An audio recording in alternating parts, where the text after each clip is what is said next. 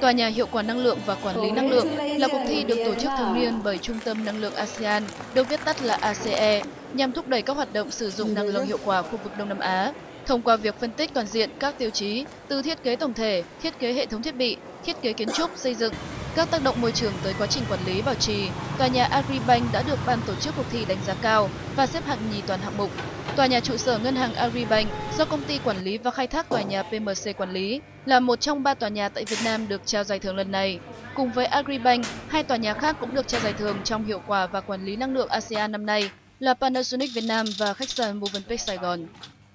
Hay 啊